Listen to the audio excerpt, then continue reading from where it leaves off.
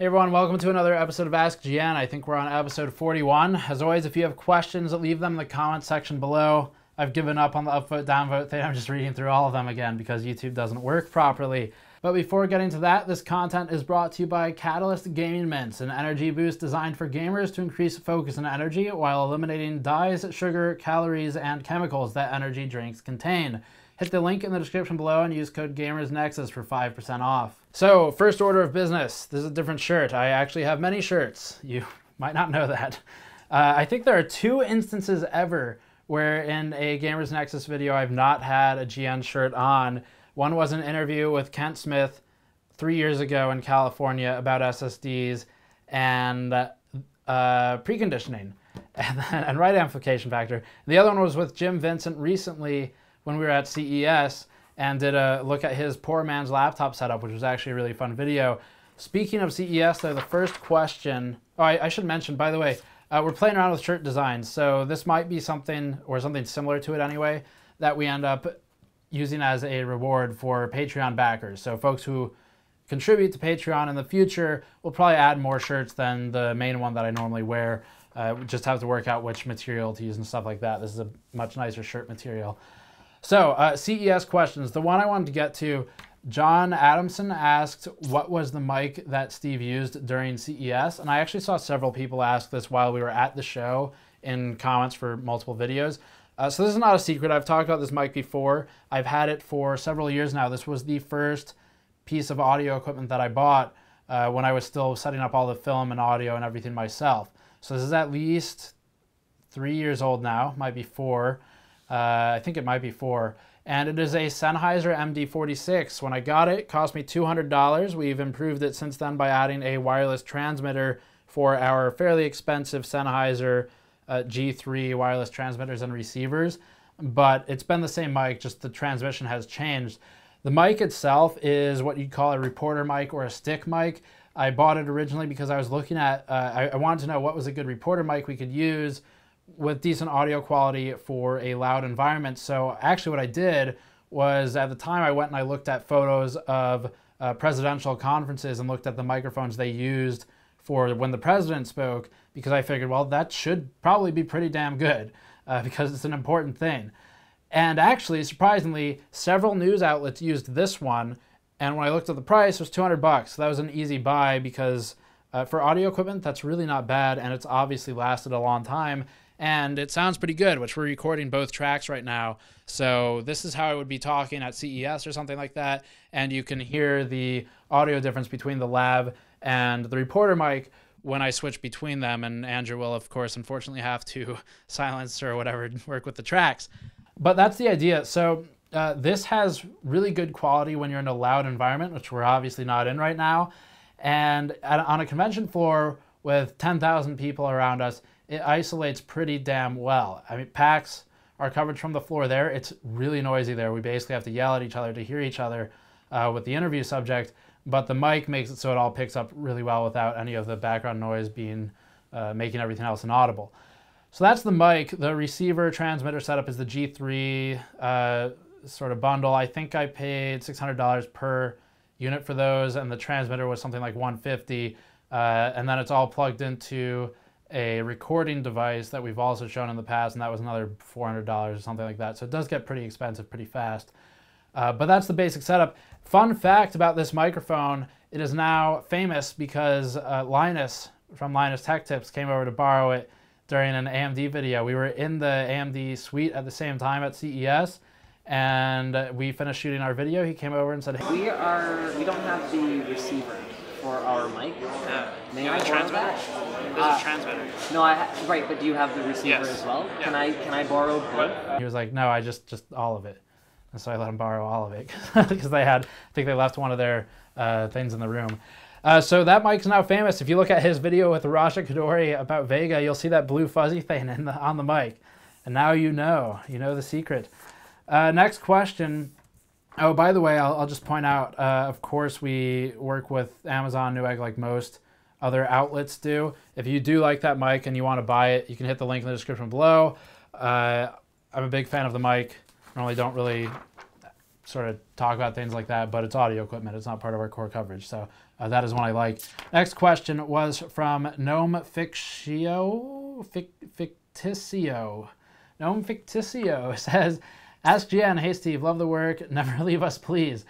Uh, so how does RAM frequency affect CPU overclocking? I read that having a more direct multiplier, say 10x for 2666 instead of 2800 for instance, could result in an easier time getting those last few megahertz out of the CPU due to more stability. Is that so with XMP? How so? Why? You know the drill. So memory overclocking is not somewhere I'm an expert in. There's, of course, plenty of places that's true because computers are hard and there's a lot of parts and there's a lot to know.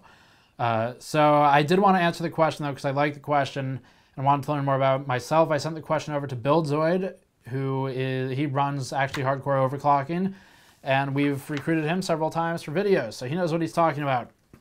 Buildzoid said, uh, first of all, the question, the asker said something about buying a Patriot kit and feeling some regret and maybe wanting a G.Skill kit instead. So I passed that along to Buildzoid as well.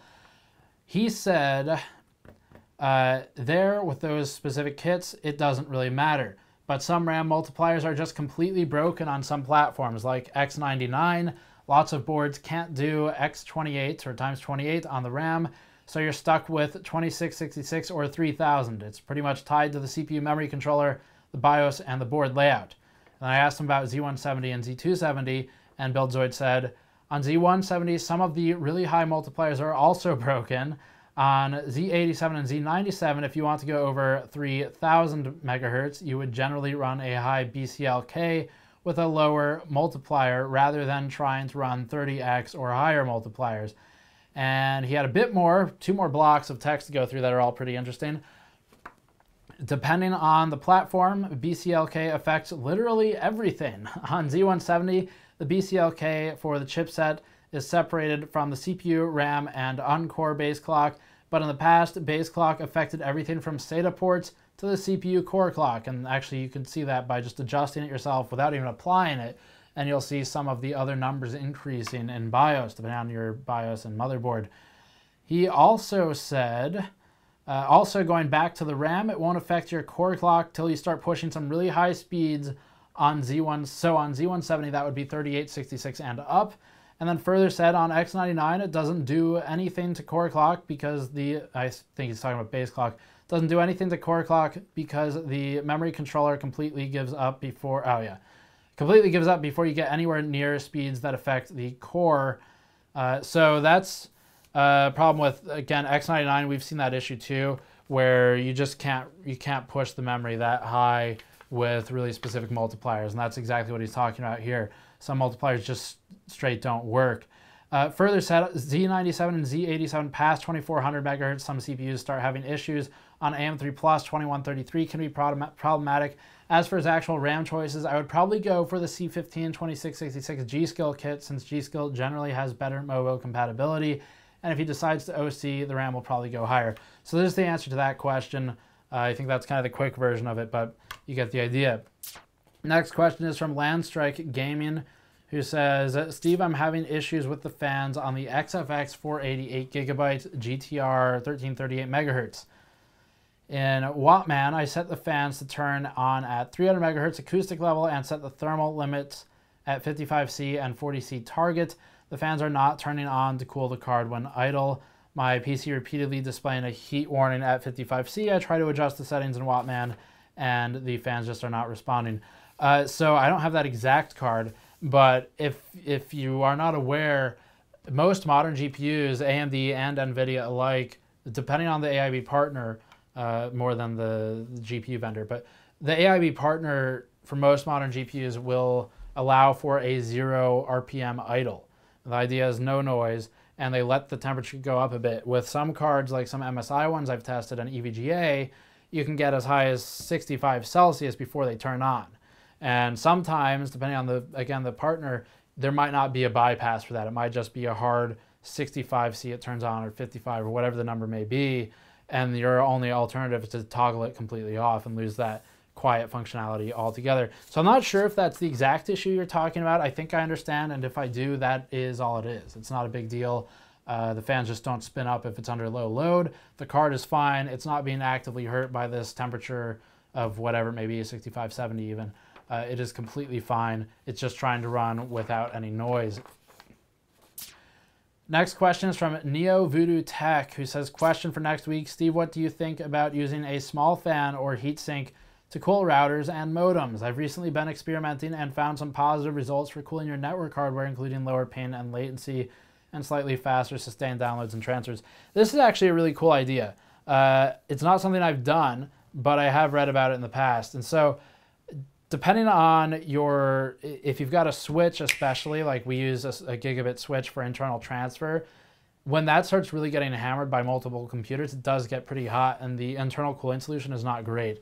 So, in that situation, adding an aftermarket cooler, uh, even to our internal unit, would probably be pretty helpful because thermals ruin everything. Once you get higher heat because it's being abused for a longer period of time and it doesn't get a chance to cool down, and that's true with pretty much any electronic, uh, you will have performance degradation. Doesn't doesn't matter what it is, and that's either because they have uh, restrictions built in there to protect it and make sure it's not running too hard of a clock rate or whatever when it's under load, or it's just because there's degradation because it's becoming uh, unstable or volatile or whatever.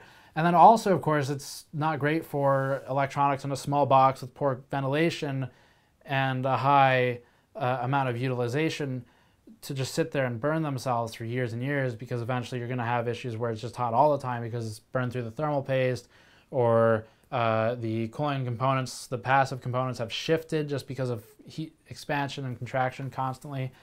Um, I, I, would say it's an interesting idea. I haven't tried it, but I kind of want to now.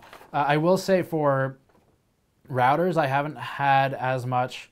Well, I should say for uh, for modems, which isn't really what they are anymore, but you, you know what I'm talking about. The box from the ISP, uh, I haven't had as much of an issue. But maybe if we started pushing the higher one gigabit per second data rates once that's available, maybe that would actually be a problem. I don't know. But with my current internet, it's just not. Uh, for the Switch, though, absolutely, that wouldn't be a bad thing to do because you would be able to maintain, like you're saying, the higher performance because it's not going to have to downclock or throttle itself in order to keep up and keep temperatures down. That's especially true if you have it in a hot environment uh, or high ambient. Next question Charlie Lee says, Why do we need IHS, integrated heat spreader? Isn't putting a heatsink directly onto the CPU more efficient? Yes, absolutely, it is more efficient. If you have no IHS, that means basically anyone doesn't know, it's a substrate, that's the green bit, and then there's a die, and then over that is the IHS, or basically a piece of metal that helps conduct uh, the, in theory, conduct the heat from the die, spread it a bit, and then from there the CPU heatsink should be conducting that. And we talk about that, by the way, in our TLDR video on CPU heatsinks. There's an animation and everything. It's pretty cool. Check that out. But that's how it works. So it would certainly be more efficient if you had direct contact, and that's what happens with GPUs. If you ever open a GPU, or a video card I should say, you'll see that once you pull out those four screws for the heatsink and pull the heatsink off, it's just a straight die. There's no IHS. Uh, it is far more efficient to have direct contact. You don't have another interface in between them. And it's not just one interface, by the way. For an IHS on a CPU, the die doesn't directly talk, doesn't directly communicate its heat to the IHS. There's got to be something in between. It's not a perfect match. And the same is true from the IHS to the heatsink. It's got to have an interface between it. That interface is normally thermal paste. Sometimes it's liquid metal, depending on if you've, if you've uh, delidded it or not. And we do, by the way, have a delid kit, and I will be playing around with that pretty soon. But uh, that's the idea. So uh, if you have a die and then thermal compound, which the current generation of Kaby Lake 7700K thermal compound does not look at all like it's consistent. We're still investigating that, but uh, thermal compound, IHS, thermal compound by the user or TIM, uh, and then your cold plate. That's a lot of things to go through to get to the cold plate, which is your highest watts per meter Kelvin conductivity. So you don't want all those interfaces there. So why not just sell a CPU with no IHS? If Intel knows people are going to put a heatsink on it, because of course, why not sell it that way? The reason is strength primarily because if you have, uh, if you've ever, maybe not delid, but if you go look up YouTube videos of people trying to delid CPUs, I'm sure someone's cracked either the entire thing or the die because those silicon dies are really weak. They can crack on GPUs and on CPUs very easily if you're not careful, either from the delid process itself or from applying a cooler. The IHS does a pretty good job of protecting that thing and strengthening it. So when you go torque down the four screws for the cooler on the motherboard, it's not going to crack anything in theory. But the problem is a lot of folks will uh, either use sort of gorilla force when they tighten their things down until they can't physically turn the driver anymore, even though you only need one or two threads really locked to have strength. Uh, and if they do that, then it's just it's not going to be good when there's no IHS. Might something will probably crack, and either that's going to be pins.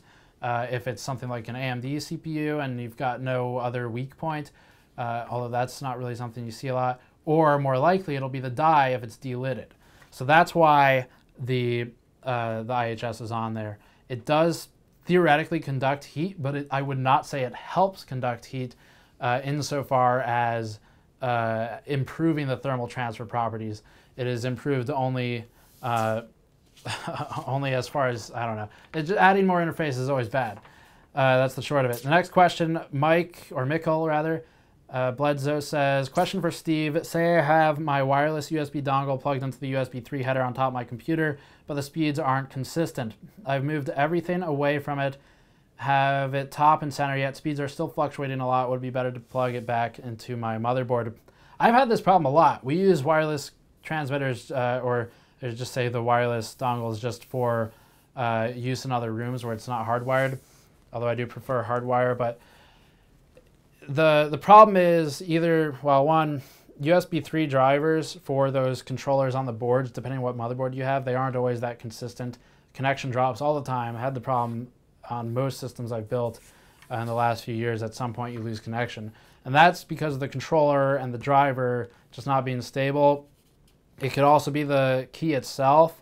If it's trying to, if it's just not a high quality one, there's plenty of $20 dongles out there I wouldn't recommend. But I've never had a problem plugging my uh, wireless receivers, transmitters into the back of the computer, straight into the motherboard. That'll be handled more directly without any external, uh, any third-party controller. Now, with Intel and their modern chipsets is a bit different, but with the older AMD stuff or stuff before USB 3 was onboard natively through the chipset, that was absolutely a problem. Uh, but yeah, I'd try putting it in the uh, motherboard and then wipe the drivers as well and see if that helps. Next question. Daniel Dudis says, could you tell how much power can the motherboard VRM supply to the CPU by a number of phases? For example, X amount of watts per phase. Three-phase VRM is barely enough for a 95-watt TDP CPU, but five is good enough for even a modest overclock. It depends on the components used. So that's what BuildZoid does for this. I included this question because we just posted a video on the Gigabyte Gaming 7 VRM. It's an analysis that he did on the FETs, uh, everything in there, and voltage controllers, things like that. And you can learn more about the uh, sort of the what the phases can handle and how many amps can go through it and all that stuff. That's all in that video. The short answer is no, there's no hard and fast X phases equals Y uh, amperage or watts or whatever. It's just, it depends on the quality of component used. Finally, this one, I really only put in there to, to make a note. Uh, oh, well, I'm not going to say that name, so never mind. It was worse than I thought. Uh, you can go look at the previous video, though, and I'm sure you'll see at least one uh, dumb comment.